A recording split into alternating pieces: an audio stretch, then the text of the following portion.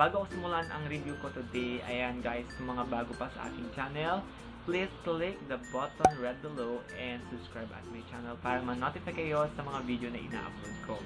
Ayun guys, this, ah, uh, this, oh yun, so pagpasensya nyo yung mga dumadaan tricycle kasi naririnig dito sa akin.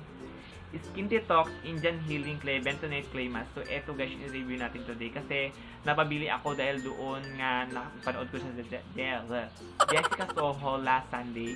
Na-feature siya na maganda raw ang clay mask na Bentonite Clay. So, eto yon I bought this for only 180 pesos. So, i-delike sa description below yung pinagbilhan ko at pwede kayo dun mag-order sa kanya. Skin Detox Indian Healing Clay Bentonite Clay Mask 100 grams. Deep pore cleaning, acne anti-aging, detoxifying, and yes, direction to use. Mix clay with equal parts of raw apple cider vinegar and or water. Use a non-metal bowl and utensil. Stir the mixture well to smooth paste and more add more clay or liquid as needed. Apply to the face or other area, let it dry for 10 to 15 minutes. Remove clay by washing with warm water. Use it once per week.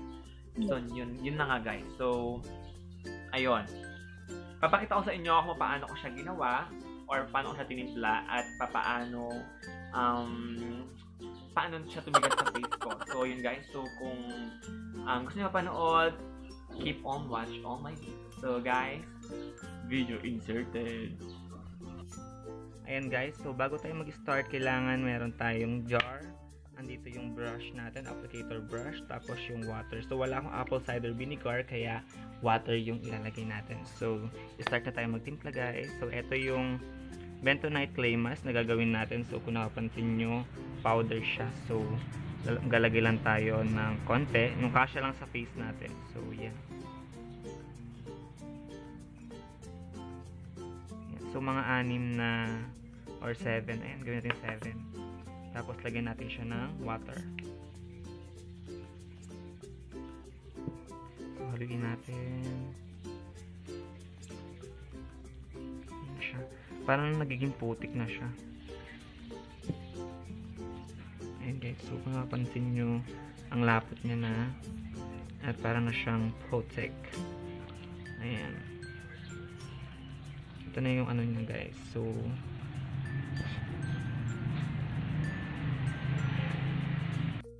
ayan guys i-apply ko na sa face ko itong nahalo kong bentonite clay mask. So umpisa na natin para makita natin kung gaano ka-effective itong um, bentonite clay mask. So yan start ko muna dito. Kakalpati siya mamaya ang sabi kasi nandito, it's the best for acne and for minimizing.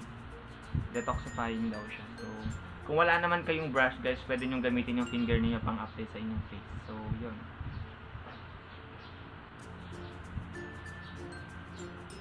Feeling ko kulang tong naano ko.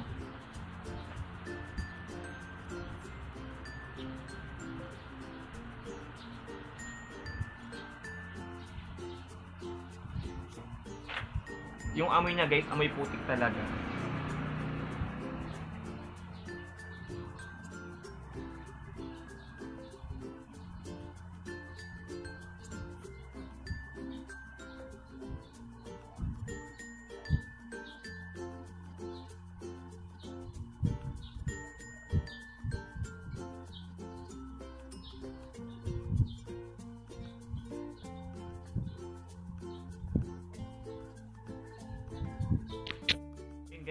Paalala kung nap napansin at napanood nyo sa Jessica Soho nung nakaraang linggo, yung kilay niya nilagyan niya ng uh, mask. So, hindi po yan allowed na lalagyan natin ng uh, yung kilay natin ng mask kasi hindi naman po yan na mo-moisturize na mga mask na nilalagay natin. So, para mas mabilis tanggalin, huwag na natin lalagyan ng mask yung kilay. So, yan.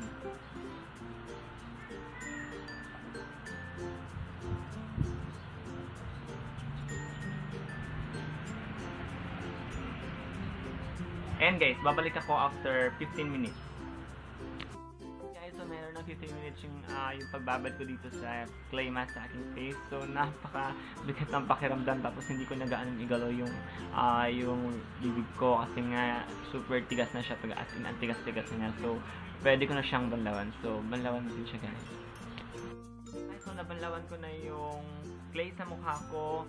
Napaka, napakasarap ng feeling kapag binabanlawan mo siya, napakalambot sa skin. So kung napansin nyo, medyo namumula-mula pa yung mga pinagtanggalan ng clay kasi medyo ah, mahirap siyang i-wash out sa face. Tapos, ah, syempre sobrang tigas. Then kailangan mo muna siya ibabad doon sa ah, water bago natin siya i-spread ng gusto. So yun guys.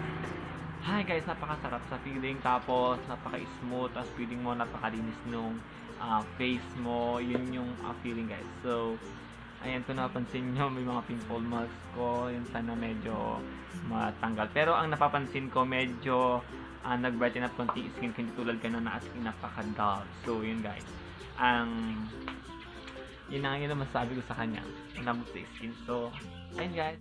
Guys, so napanood nyo nga kung paano ko siya ginawa sa aking skin. At ayun, ang masasabi ko lang sa product na to, napakabong ganyang gawing facial mask every week. So, kasi natatanggal niya talaga yung mga dirt sa skin mo. Ang lambot niya, best. Lalo pag pinap... Pag, lalo pag binabanlawan mo, tapos pag pinatuyo mo na siya, oh my god, ang lambot. Tapos feeling mo napakalinis ng skin mo, guys. Ang linis-linis ng face as in. Yun na yon pack na pack. Tapos, Um, yung mga wala ngang apple cider vinegar, mas okay din naman kasi na-try ko nga, water yung na-try ko. Pero feeling ko gusto ko siyang gawan din ng review na apple cider yung ihahalo ko. So, yes, kung gusto nyo ma-notify sa aking video, ulitin ko ulit guys, please subscribe at my channel. So guys, thanks for watching and kita-kits sa aking susunod na video. Bye guys!